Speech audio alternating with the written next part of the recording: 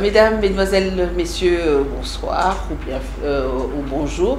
En tout cas, cela dépendra de l'heure à laquelle vous allez suivre ce magazine qui, a pour thème Que faire Immigration au Canada, que faire en cas de refus Comme vous le savez, ces derniers temps, il y a une ambiance très particulière. Tout le monde veut aller au Canada. Alors, question, que faire en cas de refus. Et pour en parler aujourd'hui, nous avons sur ce plateau Maître Jogus Mwenze. Il est avocat au barreau du Québec et de Kinshasa. C'est avec lui que nous allons aborder ce thème si important. Sans plus tarder, je vais saluer mon invité. Bonsoir. Bonsoir. Ou bonjour. Voilà. Bonjour. Alors, euh, j'ai dit que vous êtes avocat au barreau du Québec et Kinshasa. Est-ce que nos téléspectateurs, nos auditeurs peuvent vous suivre, vous, connaître davantage Oui, en effet, euh, je suis d'abord avocat au barreau de Kinshasa. Et si vous avez commencé par le Québec, c'est tout à fait justifié parce que depuis plusieurs années, euh, j'exerce beaucoup plus au Québec qu'à Kinshasa. Donc, euh, si je suis devenu avocat au barreau de Québec, c'est aussi en partie par l'expérience que j'ai acquis à Kinshasa, que j'ai transféré au fait, toujours par le moyen de l'immigration. Donc il y a quelques années que j'ai immigré au Canada comme travailleur qualifié. Et comme travailleur qualifié, je devais absolument trouver quel travail était convenable pour moi. Et j'avais estimé qu'il était tout à fait justifié que je garde le même travail que je faisais au Congo. Bien que les conditions n'ont pas été faciles, il fallait retourner au premier cycle universitaire et puis oh. passer par l'école du barreau, qui sont des processus très, très complexes, ça je ne vais pas vous les cacher. Mais Dieu merci, au bout de quatre ans, j'ai pu compléter le processus et puis j'ai porté, j'ai prêté serment comme avocat au barreau du Québec. Et c'est là que je travaille depuis 2018. 2018, très bien. Merci. Alors, euh, je, suppose que vous l'avez remarqué comme moi, tout le monde veut immigrer au Canada. C'est vraiment l'Eldorado, tout le monde veut aller. Mais qu'est-ce qu'il y a là-bas au Canada où tout le monde veut aller? C'est quoi qui attire les gens? Bon, je ne sais pas. Chacun a un plan d'immigration précis. Personnellement, j'ai été attiré aussi. Donc, je ne peux pas dire que je suis allé par curiosité, j'ai été attiré parce que effectivement, j'ai vu qu'il y avait plusieurs programmes en immigration qui permettaient notamment aux personnes formées à l'extérieur de pouvoir aller travailler au Canada. Alors, euh, j'ai tenté l'expérience, j'ai tenté les systèmes, j'ai appliqué dans le programme de travail qualifié, comme je l'ai dit, c'était pas comme aujourd'hui, mais c'était parce que les mhm. programmes évoluent avec le temps, bien sûr. Moi, c'était en 2010. Ayant appliqué dans ces programmes, en 2012, je serai retenu et enfin en 2014, j'ai décidé de partir. Du coup, ce qui s'est passé, c'est que lorsque vous regardez ces programmes, ça vous attire par rapport euh, d'abord aux conditions mhm. sociales, il faut les reconnaître, mais même aux conditions de travail. Ce sont des pays, on ne peut pas se les cacher, extrêmement développés. Extrêmement développés, tels que la vie de l'homme est suffisamment facilitée pour que ça vous attire. À côté de tout ça, il y a plusieurs agences officielles du Canada qui procèdent au recrutement de la main-d'œuvre internationale. Et ces agences ont pour mission de vendre la bonne image du pays. Vous comprenez? Bon, ils le font avec certains pays où il y a une certaine infrastructure qui permet à ce que les choses se passent de manière cohérente. Mais malheureusement, cette expérience a été importée chez nous mais de manière un peu anarchique. et vous savez ce que ça crée aujourd'hui, c'est dommage. Voilà. C'est tout le monde qui veut aller, c'est partout, on voit des affiches et tout ça. Je vais d'abord vous poser une question où euh, les, beaucoup de Quinois se disent que non, au Canada, ils ont besoin des gens. Il y a des villes où il n'y a personne, ils, ils ont besoin de, de la main-d'œuvre. Est-ce que c'est réel? Oui, c'est réel, mais comme vous savez, tout doit se faire de manière synchronisée et de manière ordonnée. Il y a des villes qui ont besoin de la main-d'œuvre. Il y a des villes qui veulent que les gens arrivent pour travailler. Mais ce qu'il faut, c'est que ces, villes veulent que les personnes qui arrivent soient des personnes qu'eux, ils invitent. C'est-à-dire, je m'entends, c'est que cette année, je reçois 10 000 personnes parce que j'ai les capacités d'accueil. Je vais les loger, leurs enfants vont fréquenter les écoles, le, euh, le, système hospitalier sera capable d'absorber la demande. Bref, ça va de manière synchronisée et organisée. Mais le problème, c'est que à côté de cette demande de main-d'œuvre qui est vraie, il y a encore une autre pression qui arrive avec euh, l'immigration humanitaire, alors ça perturbe les équilibres. Voilà un peu la situation. Alors le thème de notre, de notre émission, c'est immigration au Canada. Que faire en cas de refus? C'est vrai qu'il y a beaucoup de demandes. Il y a aussi beaucoup de refus. Alors euh, vous êtes là, maître Jogus, pour nous, nous donner euh, un petit éclaircissement. Qu'est-ce qu'on peut faire quand votre visa a été refusé? Voilà, c'est une bonne question. Alors là, je voudrais d'abord euh, faire une petite mise en contexte par rapport à, ce thème. C'est que il faudrait distinguer deux types d'immigration. Il y a l'immigration humanitaire, ici ça ne nous concerne pas, parce que ça se joue vraiment à l'intérieur du Canada. Et puis il y a l'immigration économique. Dans l'immigration économique, vous avez les programmes de travail qualifiés, les programmes de permis de travail qu'on appelle les séjours temporaires. Et là-dedans, vous pouvez même trouver les programmes euh, des étudiants internationaux et même des visiteurs dans une certaine mesure et des travailleurs saisonniers, voyez-vous, et plusieurs autres programmes qui émargent également dans ces programmes. Ici, ce qui va plus nous intéresser, c'est l'immigration économique. Et en termes de refus, il y a plusieurs refus pour des raisons diverses. Euh, si je prends le cas des permis temporaires, c'est-à-dire euh, les, visas visiteurs, les visas étudiants, même les entrées express, parce qu'il y a certains à qui on refuse. Bon, là, je suis déjà dans les, dans les résidences permanentes. Il arrive que ces personnes ne sachent à quel sein c'est voué. Bon, là, c'est la décision d'un agent. Un agent d'immigration a estimé, après avoir analysé votre dossier, que vous ne rencontrez pas les critères selon le règlement pour pouvoir euh, obtenir les documents ou les permis sollicités. À ce niveau-là, les personnes, les, les gens pensent que c'est fini. Et pourtant, si vous lisez la lettre, la lettre donne deux possibilités. Soit vous resoumettez une nouvelle demande, soit carrément vous intentez une, euh, un recours à la Cour fédérale conformément à l'article 72 du règlement de la Cour. Donc, Donc, il est possible de demander un recours. Et ça marche. À quatre mois, personnellement, le recours que j'ai fait pour les personnes qui ont, qui ont eu l'information, qui m'ont contacté, je pense qu'en termes d'acceptation, nous sommes à 99%. Et les raisons sont justifiées parce que très souvent, même vous-même, vous êtes surpris par la décision. On vous dit que les fonds sont insuffisants. On dit, mais j'ai fait la preuve de, de 100 000 dollars, j'ai même mis ma maison, j'ai mis, j'ai mis. Comment ils vont dire qu'il n'y a pas de fonds suffisants? Ça peut arriver. Ça peut arriver pourquoi? Parce que, vu le volume de demandes, parce que même là, à l'intérieur, les avocats en droit de l'immigration font pression sur le gouvernement. Parce que certains dossiers sont même montés par des avocats et puis on essuie un refus. Et les avocats trouvent que ça ne va pas. Bon, le gouvernement a toujours ses raisons, effectivement, avec l'intelligence artificielle vu le nombre de demandes, on ne peut pas tout compresser par des humains. Alors, ce sont des robots, dans un premier temps, qui font euh, la présélection et puis les humains interviennent en, en, en, aval. Alors, tout ça, ça fait que la marge d'erreur existe toujours. C'est pourquoi, d'ailleurs, on a prévu les recours, voyez-vous. Du coup, ce qu'il arrive, c'est que les gens ne savent pas que peut-être au niveau de la présélection, euh, les systèmes qu'ils appellent Shimbok n'a pas fonctionné, où il y a eu des... Comme toujours, chaque fois, ils améliorent les systèmes informatiques. Alors si votre recours, d'ailleurs ce sont les lettres stéréotypées des gabarits administratifs, ce n'est pas ça la décision. Parce que la vraie décision, vous devez la découvrir avec le motif de la décision. Parce que chaque fois qu'il y a un refus, là j'ouvre trop de fenêtres. Donc il y, a, il y, a toujours euh, le motif de... Il y, a une, il y, a un motif qui soutient la décision. Mm -hmm. Et c'est là où moi en tant qu'avocat, ou si vous faites un recours, nous allons devoir avoir accès à ces motifs. Et nous allons ensemble apprécier de la raisonnabilité de la décision. C'est ça les critères devant la Cour. Est-ce que l'agent qui a rendu la décision a rendu cette décision de manière raisonnable. C'est tout. Alors, quand je dis que j'ai 100 000 dollars en compte, j'ai montré que j'ai des biens au Congo, j'ai un travail, et puis on me dit qu'il n'est pas sûr que je vais rentrer, ou il n'est pas sûr de la. Euh, il me dit qu'il y a une insuffisance des fonds. Est-ce au regard de la preuve que j'ai faite, au regard de la manière dont j'ai posé les dossiers, est-ce que cette décision est raisonnable? C'est ça la question qu'on va se poser. Moi, je dirais non.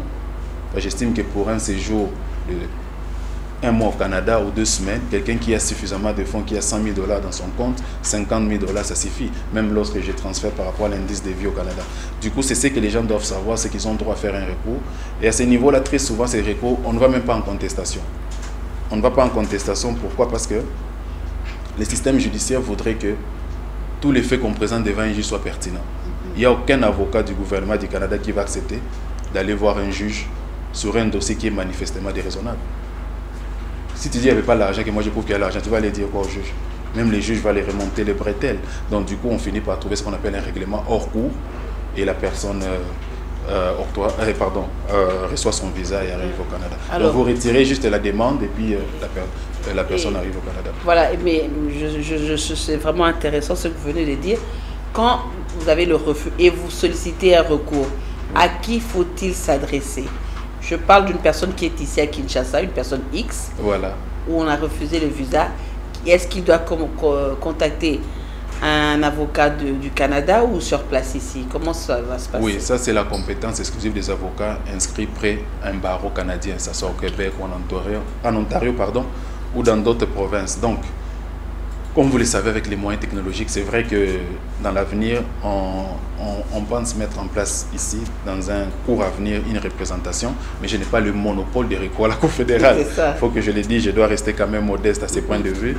Euh, les avocats, nous avons, euh, bon, avec l'Internet, les avocats foncillaires publicité, vous pouvez trouver un avocat euh, Soyez sûr qu'après cette émission, vous serez débordé. Hein.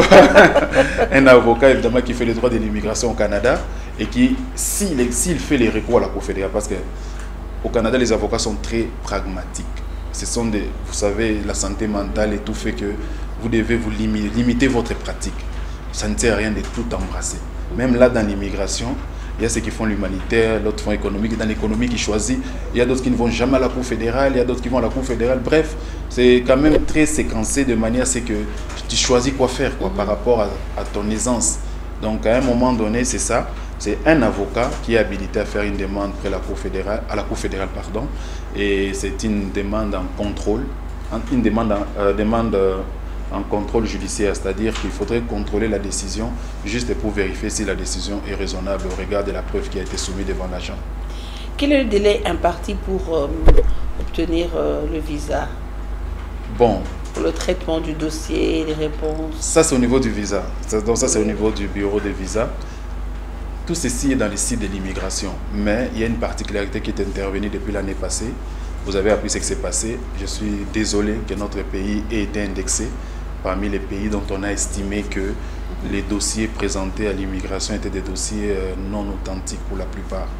Alors, euh, contrairement aux autres pays, les délais étaient de 70 jours, de 90 jours, mais nous, nous sommes aujourd'hui à 385 jours. Et ça fait qu'augmenter. Et puis on vous dit que ces délais ne tiennent pas compte du délai de biométrie. Donc bref, c'est pratiquement aujourd'hui une année, une année et demie pour les Congolais. Mais c'est dommage parce que nous avons été indexés par rapport à la qualité des dossiers que nous envoyons. Et ça fait en sorte que nous, nous sommes... Euh, nous sommes sous la liste d'attente. Une année et demie, une année et demie, et, quand, et s'il faut réintroduire euh, une requête pour, euh, en cas de refus, ça, bon. tout ça, ce sont des frais. Hein? Oui, ce sont des frais, malheureusement. Ce sont des frais parce que la Cour fédérale, il y a d'abord euh, il y a les frais de justice que vous devez payer, il y a les frais de procédure que vous devez payer, il y a les frais d'avocat. Ça va de soi. Si vous tenez, bon, si c'est une ambition que vous caresser. Et si vous voulez surtout corriger une injustice, parce que je vois des gens frustrés. Mhm.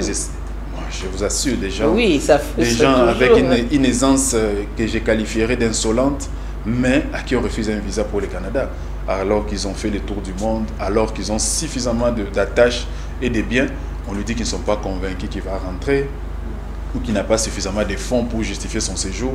Tu vois, ça, ça à un moment donné, ça vient vous trouver dans votre personnalité, dans votre estime. Alors, certains estiment qu'il faut réparer cette injustice, voyez-vous. Alors là, ils vont devant la cour. Donc, dès que vous démontrez que c'est déraisonnable, on le fait. Mais le délai, le vrai délai, il faut le compter à partir du moment où l'avocat a reçu les motifs, c'est-à-dire la vraie décision. Regardez l'intelligibilité qui soutient la décision. À ce moment-là, il faut attendre. Ça peut prendre, à ce niveau ça peut prendre de 30 à 70 jours pour que les gouvernements vous transmettent. Bon, quand je parle du gouvernement, c'est vraiment l'immigration transmet à la cour et il remet une copie à l'avocat. de manière à ce que c'est ce que l'avocat va, va, devoir analyser. Ce sont les notes de l'agent. Quand est-ce qu'il a reçu la demande, qu'est-ce qui lui a amené, qu'est-ce qu'il a pris en compte? Pour pouvoir conclure que cette personne n'a pas suffisamment de fonds, ou qu'est-ce qu'il a pris en compte pour conclure que cette personne ne va pas retourner dans son pays. Donc c'est ça, c'est à ce moment-là que nous pouvons dire, nous avons 30 jours. Alors c'est dans les 30 jours-là que la vraie décision interviendrait c'est-à-dire l'espoir est né à ce moment-là si réellement elle est déraisonnable. Parce qu'une fois que l'avocat aura déposé ce qu'on appelle son, le dossier des de, demandeurs, automatiquement, lorsque le collègue de Justice Canada reçoit ces dossiers, il en fait une analyse profonde. S'il conclut, comme vous, qu'effectivement la décision est déraisonnable, il vous fait ce qu'on appelle un offre, et pardon, il vous fait ce qu'il appelle un règlement hors cours. Et à travers ces règlements hors cours, vous retirez la demande, vous désistez à votre demande et vous donne la possibilité de pouvoir soumettre soit une nouvelle demande, soit euh, juste envoyer de nouveau votre passeport pour pouvoir avoir les visas. Voilà, et pour ceux qui nous ont pris en coup, je rappelle que nous recevons ce soir euh, Maître Jugo Somwenze. Il est avocat au barreau du Québec et Kinshasa et nous abordons le thème immigration au Canada, que faire en cas de refus? Et depuis que vous êtes lancé dans ce domaine, combien de, procès, si on peut l'appeler comme ça, est déjà pour remporter? Bon, s'il faut parler en termes d'audience, parce que souvent le procès en matière criminelle, Voilà. nous on pas plus d'audience Audience, en voilà. matière administrative, parce que nous sommes en matière vraiment administrative. Alors, dans, dans immigration humanitaire, j'en fais aussi, en termes d'audience, tant au niveau, euh, au premier degré qu'au second degré, et même au troisième degré. Je crois qu'au premier degré, parce que tous ces règles sont faites au premier degré. Le second degré, c'est-à-dire l'appel, c'est quelque chose d'exceptionnel c'est difficile d'aller en appel et de pouvoir gagner. Pourquoi? Parce qu'on estime que le premier juge a eu le temps d'analyser le dossier, d'écouter la personne. Donc il a eu tous les éléments. Alors qu'en appel, nous allons juste pour les erreurs de droit. Et c'est très difficile d'en trouver parce que je pense que ces juges travaillent de manière un peu plus consensueuse. Donc au premier degré, je crois que le taux d'acceptation en matière d'immigration humanitaire, il est à presque... Si je me, value moi-même, ce qui n'est pas toujours très bien parce que je, ne peux prêcher que pour mon église, mais je suis au-delà des 90, en Au-delà toute des humilité, 90. oui. Alors, une autre possibilité, vous avez euh, de la famille, des Oui. parents qui sont au Canada et qui veulent faire venir quelqu'un partir d'ici. Est-ce que c'est c'est possible? Oui, c'est possible, mais il faudrait maintenant déterminer les liens avec cette personne. Alors, je ne sais pas. Si c'est si un père qui, veut venir, qui fait venir sa fille, à ce moment-là, on va tenir compte de ce qu'on appelle euh, les critères de l'enfant à charge. Alors, il faut savoir cette fille à quel âge, ou ce garçon à quel âge? Ici, l'enfant à charge, ça se limite à 22 ans. Au-delà de 22 ans, vous n'êtes plus un enfant à charge. Croyez-vous? Alors, vous êtes un enfant en charge au-delà des 22 ans seulement si vous avez des empêchements légitimes, c'est-à-dire des, des enfants qui naissent avec, euh, avec euh, une malformation, des enfants dont le développement ou l'intelligence ne s'est pas, dé- ne s'est pas développé. Ça donne en sorte que ces personnes, ces personnes sont toujours dépendantes des parents jusqu'à vie, quoi, voyez-vous. Ça, il n'y a pas de limitation. Mais des enfants euh, que je qualifierais entre guillemets de normaux, c'est à 22 ans. Après 22 ans, c'est pas possible. Mais il y a une exception. Euh, si vous êtes devenu résident permanent ou citoyen canadien, alors que cette, cette personne était encore mineure, vous comprenez, non? Cette personne était encore mineure et que dans l'entretemps, le temps est passé, elle a quand même dépassé 22 ans, il y a la rétroactivité parce que son droit était déjà dû au moment où vous êtes devenu citoyen ou résident. Mais si vous êtes devenu résident permanent ou citoyen parce que vous avez demandé l'asile au Canada, à ce moment-là, il y a encore une plus grande rétro- rétroactivité qui part au moment où vous avez déposé la demande d'asile, si cette demande d'asile avait été acceptée. Donc, ce qui fait que quelqu'un à 30 ans peut rejoindre ses parents, parce qu'il y a 15 ans, ses parents avaient fait une demande d'asile qui a été acceptée. Mais quelqu'un d'autre à 30 ans ne saura pas rejoindre, ou à, 22, ans- à 23 ans, ne saura pas rejoindre ses parents parce que ses parents viennent de devenir nouvellement résidents permanents alors qu'il a déjà 23 ans. Et quand c'est un enfant qui veut faire venir ses parents? Oui, ça c'est un programme très ouvert. C'est-à-dire, euh, c'est les programmes qu'ils appellent parrainage de parents et grands-parents. Donc il n'y a pas que vos parents, même vos arrières Oh. dans, dans cette possibilité parce que le Canada euh, encourage les ré- les- la réunification familiale. Et c'est dit noir sur blanc dans leur loi de l'immigration. Ils disent que l'immigration, cette loi a pour objectif de garder les familles groupées au Canada. Donc faire venir ta maman, ton papa, faire venir ton grand-père, c'est très facile si et seulement si vous rencontrez les critères. Quels sont les critères d'abord? Voilà, c'est ça le problème. Le grand problème, ce sont les non, critères. tout le monde rencontre des critères, c'est pas compliqué. C'est vraiment pas des critères compliqués. Vous devez être actif professionnellement, c'est très important. Parce que vous devez justifier d'un seuil de revenus qui vous permet de prendre ces personnes en charge. Faute de quoi, ils seront en charge du gouvernement, ce qui n'est pas bon. Mais c'est pas, ils ne demandent pas des sommes astronomiques. On connaît nos réalités. Tout le monde déclare régulièrement ses impôts. On connaît quel est le revenu médian. Donc, vous pouvez le faire en deux temps. D'abord le parrain, puis les grands-parents par la suite. Alors, deuxième condition, vous devez attendre la période. Parce qu'ils ont remarqué que le parrainage des grands-parents se faisait de manière systématique. Mais le nombre était devenu tel que tu peux avoir fait une demande il y a 5 ans, tu attends encore. C'est quand même lassant. Alors ils ont dit non, non, nous allons d'abord euh, vider les anciennes demandes, nous allons arrêter et puis nous allons commencer à ouvrir selon que l'espace euh, se dégage. Là, nous avons fait la dernière euh, demande en 2021. Les traitements ils sont, Sont en des- cours. ils sont en cours. Je pense que d'un moment à l'autre, et puis il y a la Covid dedans. Mm. Donc ça aussi, ça a été quand même un moment de ralentissement extraordinaire. Ça fait que on avait, parce que là c'était vraiment une fermeture complète. Les, les, les travails étaient stoppés, tout, tout, tout. Le temps de mettre en place un système de télétravail dont les délais se sont euh, cumulés à ce niveau-là. Donc on attend des prochaines invitations pour le faire. Ça peut intervenir d'un moment à l'autre. On l'avait annoncé pour 2023, mais je pense qu'il n'était pas encore prêt. Peut-être cette année, avant la fin de l'année, il y aura des invitations. Maître Globus, le sujet est tellement intéressant que je voulais vous garder encore sur ce plateau. Merci. Mais euh, on a un public quinois Oui. qui est vraiment euh, intéressé par euh, cette immigration au Canada. Est-ce que vous pouvez faire un petit résumé en lingala? En lingala. Voilà. Bon, évidemment, comme nous l'avons dit, Nazali euh, mwana mboka, ngai nazala qui est intéressé na immigration au Canada, mais ngai sika lorsque na mona ki kezaki intéressant, na ngai na yeba soki na komi kuna na kosala nini, komona te ngai mona zaki déjà avocat. Ntango ngai nazwi information ke ba avocat pe bandimaka bango kuna, il faut kaka ozonga classe bon nalobi eza eloko te nakokende nazonga classe. Nakei mpe nasali mpe programme wana bandimi ngai nazwaki mikanda na ngai déjà awa ya résidence permanente. Mpo ngai nakendaki na programme ya travailleur qualifié ntango nakomi kuna namoni bacondition ndenge natangaki balobi nazonga classe nakei mpe nazongi classe ezwi nga mwa mikolo mpo ezali baklasse nasalaki awa mais ezali classe mpona awa ezali mpona bango te.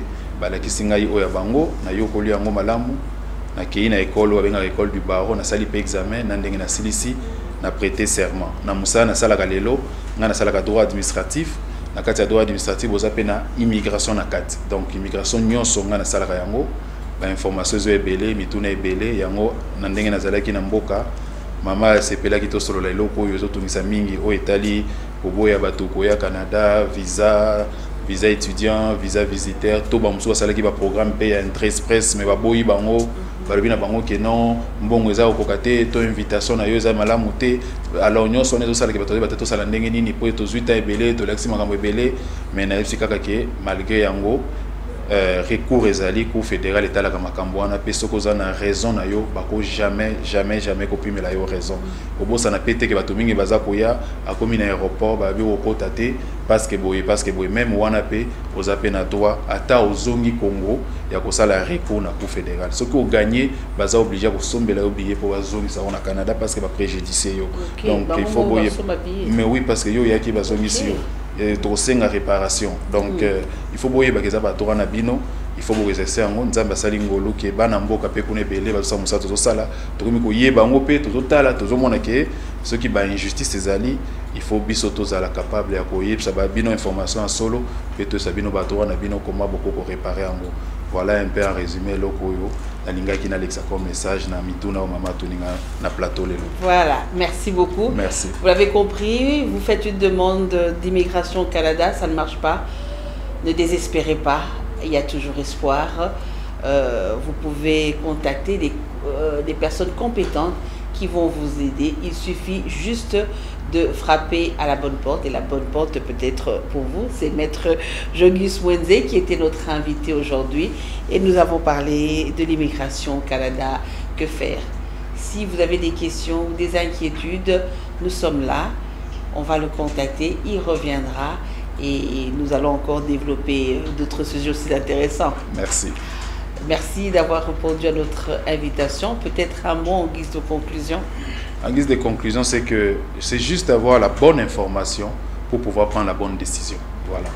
Merci, Merci. et je vous remercie. Je vous en prie. Et soyez sûrs, hein, vous serez dérangés. On va commencer beaucoup. par moi-même. Il n'y a pas de problème. Voilà, là. fidèles téléspectateurs et auditeurs, merci d'avoir suivi cette émission. Nous vous retrouverons très prochainement pour un autre sujet aussi intéressant. Merci, au revoir. Merci, au revoir.